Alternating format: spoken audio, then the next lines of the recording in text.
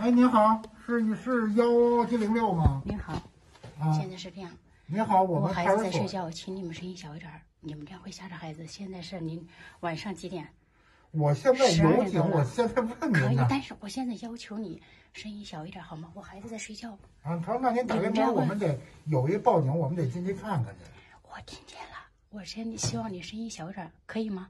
可以啊，我孩子这不是正常说话吗？我也没说怎么着，我也没有大劲儿踹你们，我这正常的敲门。我您您一直不原呀，我不知道屋里头是否有有有人。现在是十十二点多了，嗯，甭管有几点，我们也是有警敲啊。门，你们要干什么？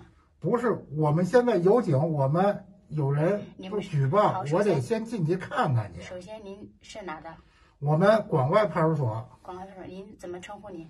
嗯，怎么称呼你？我们出警民警西幺洞幺车你现在在车组，你现在在跟我说话，你的警号是多少？嗯，给我看一下，警警号你的零二零二多少？零二十一点半。刚才你开门了吗？没开门，因为我孩子吓哭了，我在啊一直在安抚我的孩子，我就我跟孩子在家。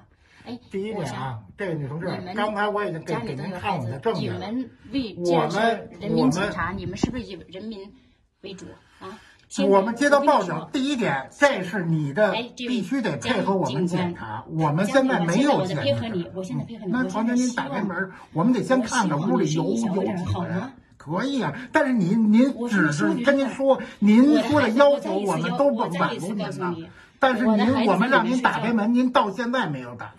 我现在配合你，我的身份证号码告诉你了，还有我告诉你您。打开门，我得看看屋里有几个人，怎么个情况啊？我什么都不知道啊你。们今天进屋里来肯定是来不了，我在这已经配合你了。我的为身份证这个不成，我身份这个叫什么事儿啊那你们拿手续来，我们拿手续来好吗？第一点我们举报，您得配合我们工作，您得让我们进屋这是您看一眼公公知道吗民的义务。第一是啊我现在就我和孩子在家，不是我有10岁那怎么了孩子不行，你们我们正常出警啊我们正常出警，我们人民警察，我们就不能去您家。他举报，我得先看看。您说您家里